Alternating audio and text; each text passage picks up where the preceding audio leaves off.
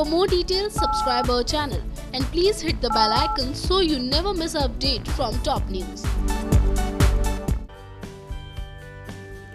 Serial Yeh Rishta Kya कहलाता है मैं आपने बीते एपिसोड में देखा कि कैसे कार्तिक काफी शराब पी लेता है और ये बात दादी को पता ना चले इस वजह से नायरा कार्तिक को अपने घर पर ले जाती है इधर दादी भी कार्तिक को लेकर काफी परेशान हो रही होती हैं लेकिन वो ये नहीं जानती कि कार्तिक नशे की हालत में नायरा के साथ होगा और ऐसे में एक लीडिंग वेबसाइट से खबर आई है कि बहुत जल्दी दादी को पता चल जाएगा ये सच कि कार्तिक ने काफी शराब पी ली थी और इस वजह से वो उस दिन रात में घर नहीं आया था इतना ही नहीं दादी के सामने ये सच भी आ जाएगा कि कार्तिक नशे की हालत में रात भर नायरा के घर पर ही रुका था और ये सब जानकर दादी होंगी काफी नाराज और इन सब के बाद दादी नायरा को काफी खरी खोटी भी सुनाएंगी यहाँ तक कि दादी कार्तिक के इतने शराब पीने का जिम्मेदार भी नायरा को ही ठहराएंगी और दादी के मुंह से ये सब सुनकर नायरा काफी टूट जाएगी इसके साथ खबर तो ये भी है कि दादी गुस्से में आकर नायरा को कार्तिक की जिंदगी से बहुत दूर चले जाने को कहेंगी अब अगर ऐसा हुआ तो ये सब देखना होगा काफी दिलचस्प कि क्या नायरा दादी की बातों को सीरियसली लेती है और क्या गुस्सा ठंडा हो जाने के बाद दादी को अपनी गलती का एहसास होता है ये सब जानने के लिए बने रहे हमारे साथ और सब्सक्राइब करें हमारा channel top news just for you